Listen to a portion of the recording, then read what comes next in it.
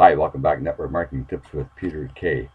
How many times have you said, I'm sorry in the day? And when you really think about it, you don't need to say, I'm sorry as often as you do.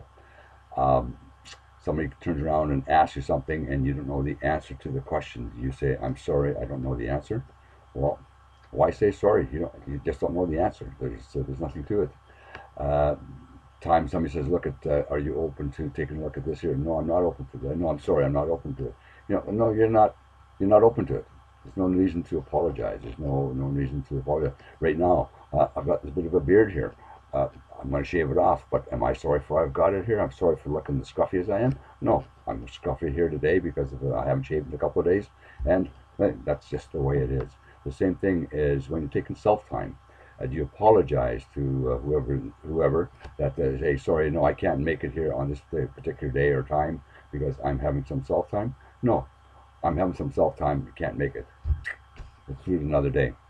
You know, there's always an alternative or another alternative way of putting that here without having to say, I'm sorry. You know, I think sometimes that we spend too much time thinking about what the other person thinks and we are sort of more concerned about how the other person feels than we are about ourselves. And that's why we turn around and use the, uh, I'm, I'm sorry. Now, would you turn around and suggest that somebody when they got an offering to you and you have something else that you want to follow your dreams and you turn around and say, hey, look, at, hey, I'm really sorry, but I'm following my dreams over here. There's nothing to be sorry for. It's your dream. It's yours. So, again, I think we spend a lot of time sometimes saying I'm sorry for things and that we don't need to say sorry for. So, uh, again, if this has been of value to you, please comment down below.